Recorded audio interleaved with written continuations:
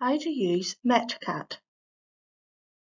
Metcat is Belfast Met Library's online catalogue.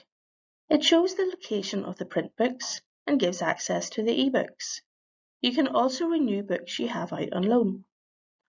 Metcat can be accessed either by clicking on the Search Books or Renew Books buttons on the Library Canvas homepage or by going to the e-resources page, clicking on the M tab and then on the link for Metcat. On the Metcat homepage, click on Log in to your account. A dialog box will pop up asking about Shibboleth login. You have a Shibboleth login, so click on the link. Enter your student number and computer password on the screen that appears. You're now logged into Metcat and your name should appear at the top.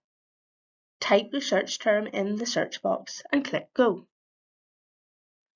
The results can be refined by using the filters at the side, by things such as location or item type.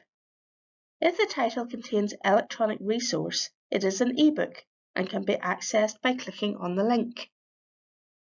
To see more details about where to find a book, click on the title. Current Library tells you which campus you'll find it in Shelf reference tells you where to find it on the shelves. If you want a copy of the book kept for you, click on Place Hold. Choose where you want to collect the book and confirm hold. When your books are ready for collection, you will receive an email to your student email address. Books are usually held for one week. If you need to renew books you have out on loan, go into your Metcat account by clicking on your name and then your account. From here, you can select which books to renew or renew them all.